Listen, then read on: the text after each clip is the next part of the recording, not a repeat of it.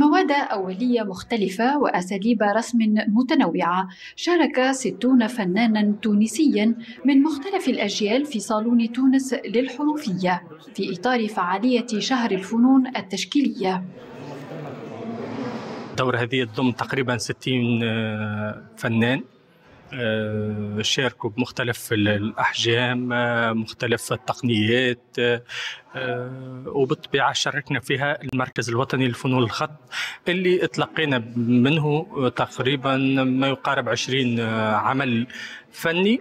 فيها الكلاسيكي وفيها القديم برشا اللي أنا أنضمه نوعا ما للتراث. هذا الصالون الفني الذي ينعقد للسنة الخامسة على التوالي قدم للجمهور لوحات الخط العربي برؤى فنية وجمالية متنوعة تقف وراءها تجارب الفنانين المختلفة لتعزز الحراك الفني في تونس.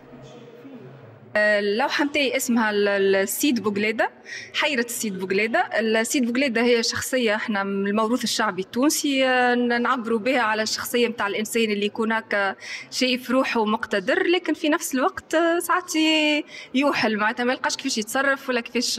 وين اللوحة صحيح عملتها في فترة متاع حيرة.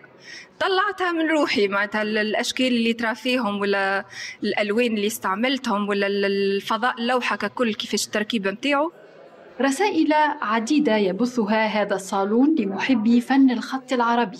تمتزج هذه الرسائل مع أبعاد الثقافة التونسية لتشكل هوية تميز البلاد في محيطها الإقليمي والدولي.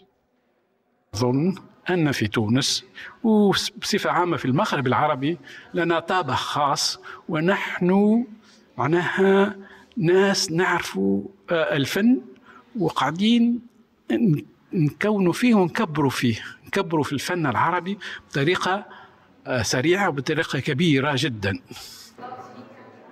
ينتظم المعرض ببادرة من اتحاد الفنانين التشكيليين التونسي وتحت إشراف وزارة الثقافة.